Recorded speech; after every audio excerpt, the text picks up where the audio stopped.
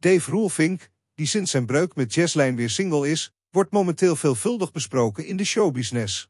Na eerdere speculaties over een mogelijke romance met een Rumach-presentatrice, rijst nu een nieuwe vraag: zou Dave Roelvink de volgende Bachelor kunnen worden?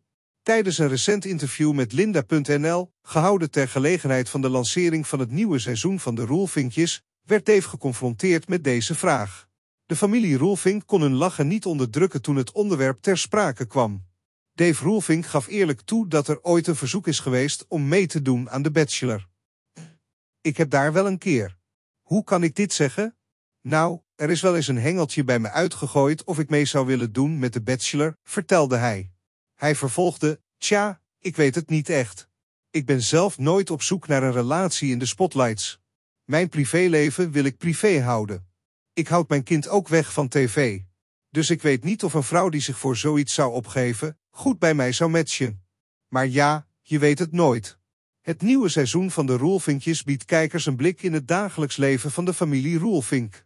Ondanks de aantrekkingskracht van de show en de aanzienlijke belangstelling van het publiek, blijft Dave trouw aan zijn principe om zijn privéleven niet volledig te delen met de kijkers.